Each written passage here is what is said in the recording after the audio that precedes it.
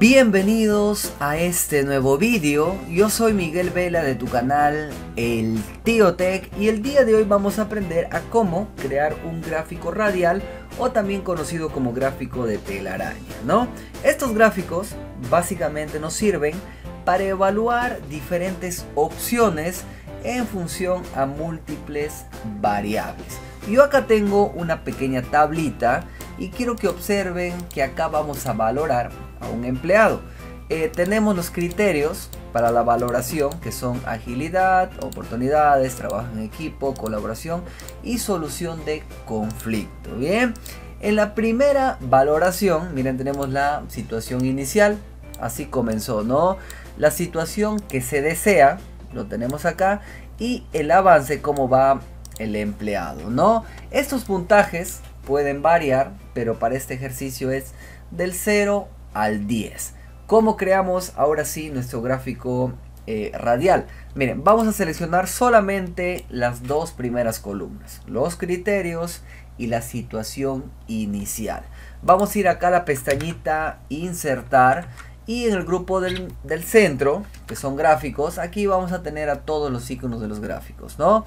En este caso, para esta versión de Excel, yo lo tengo acá. Miren, doy un clic aquí y voy a buscar el gráfico radial. Podemos elegir cualquiera de ellos. Miren, yo voy a elegir el del centro, que es ese, ¿no? Doy un clic y miren, ya tengo acá mi gráfico radial.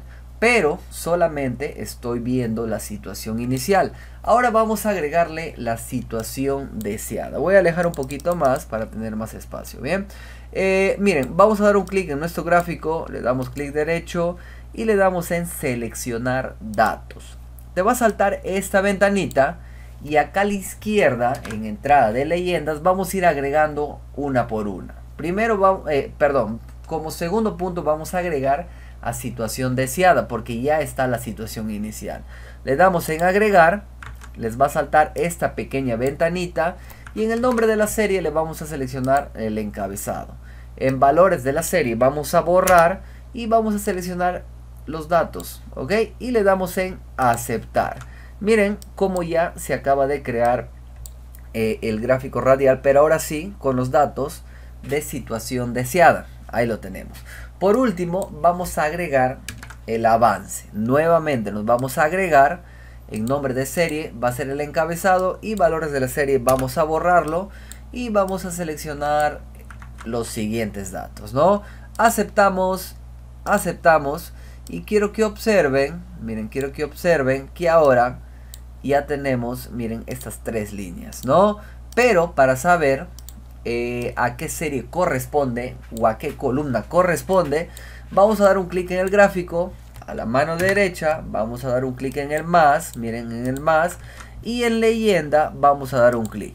Ahí lo tenemos. Esa leyenda es la que acaba de aparecer aquí, miren acá, acá lo estamos observando y también lo podríamos mover miren si damos un clic en el triangulito arriba si les parece podría ser izquierda inferior. Yo le voy a poner inferior ven damos un clic aquí y le vamos a poner un borde miren acá en las leyendas vamos a dar un clic vamos a ir a formato contorno y le vamos a poner un contorno y un color ok miren para diferenciar.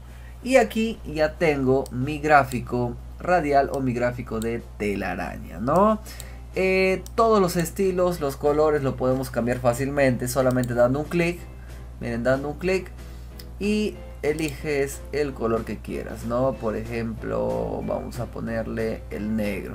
Ahí lo tenemos, ¿bien? Eh, si tienes alguna duda, si tienes alguna pregunta, como siempre digo, puedes comentar este video para yo poder responderte y así ayudarte. No te olvides de suscribirte a tu canal El Tío Tech y nos vemos en el próximo vídeo.